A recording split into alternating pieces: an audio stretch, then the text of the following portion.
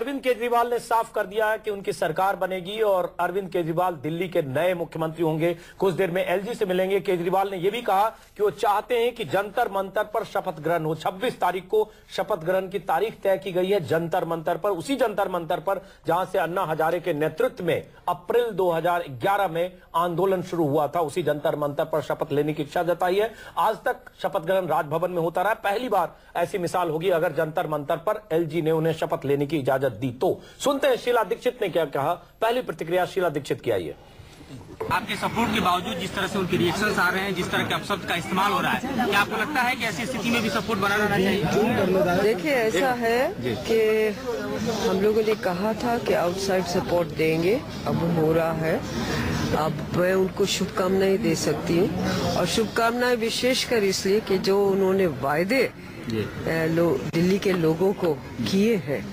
अब वो उसको पूरा कर पाए और जब तक वो करेंगे करेंगे लेकिन इस वक्त तो मैं शुभकामनाएँ इसी पे कयास लगाया जा रहा है कि जिस तरह के वादे किए वो पूरा करना मैम पॉसिबल नहीं है। चाहे वो पचास फ़ीसदी बिजली के दाम कम करने हो। ये जो भी कुछ है हमें मालूम था हम लोग बार बार ये कह रहे थे कि संभव ही नहीं है कि ऐसी चीज़ें करना जिस तरह के वादे किए लेकिन उनको विश्वास है तो उनका विश्वास जो है उसको एक मौका मिला है कि आपका विश्वास जो है वो दिखा दीजिएगा। तरह की भाषा का इस्तेमाल हो रहा है केजरीवाल ने नई नहीं वो भाषा अच्छी नहीं है सभ्य नहीं है राजनीति में ऐसी एक दूसरे की आलोचना हम कर सकते हैं लेकिन भाषा जहाँ तक हो सभ्य होनी चाहिए। मैम मैम एक तरफ़ मैम सरकार बना रहे कांग्रेस के साथ मिलकर वहीं प्रशांत भूषण ये कह रहे हैं कि अनडेमोक्रेटिक है आप और कांग्रेस देखिए प्रशांत भूषण उनके एक मेंबर है ना तो वो अपनी राय दे रहे हैं, कुछ दे रहे हैं।